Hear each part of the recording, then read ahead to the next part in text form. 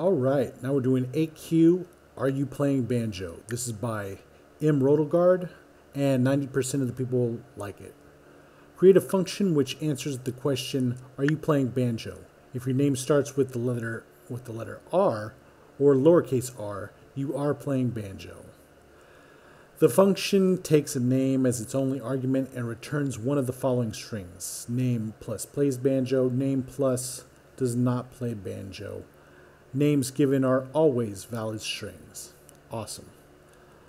All right, so we're going to set up real quick. And on this, we're going to be using, uh, what's it called? Uh, string.prototype.match. All right. So what we're going to do to start off with is say name. First, we're going to do this over here, right? Name plus, and then we're going to decide how it does this, picks one or the other. So we're going to go over here the match, and uh, the match method retrieves the result of matching a string against a regular expression. So we just throw a regex in there and uh, type a match and find it or not, all right?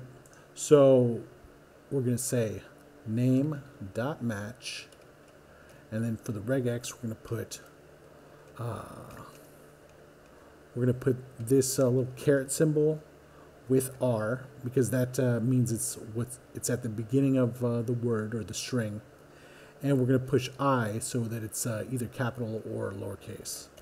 Then a uh, no, not that. Then we're going to do a ternary operation, uh, and uh, if it if it does match, we're going to say space plays banjo, and if not, we're going to do space does not play banjo. And that should work. Let's see. Awesome. Awesome. Awesome. Great.